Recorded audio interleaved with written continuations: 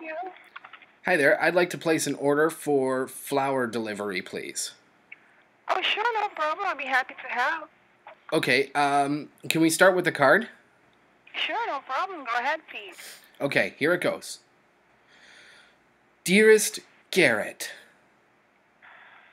my wife has become suspicious of our forbidden love. All right. She came home last night to the smell of Drakkar Noir and scratch marks on our pool table.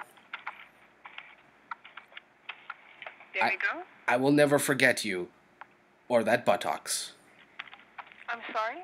or that buttocks, Yeah, all right. or that Bible camp we met at. Okay. Father Peter was more like Big Daddy Peter after choir practice. Mm-hmm. There's more than one reason we were called Boyz II Men. XOXO Andrew Sigfuson. Actually, wait, can you sign it XOXO Sig the Love Pig? Uh, can you replace the XOXO with little penises?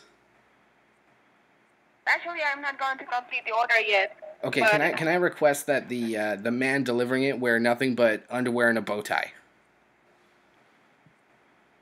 Sir, if you are not placing an order because we are doing pure Oh, business that's here, right. You're the company that refused to cater the gay wedding, right? Please call us back once you're re- really ready, okay? Ready for what? A traditional marriage? Ew.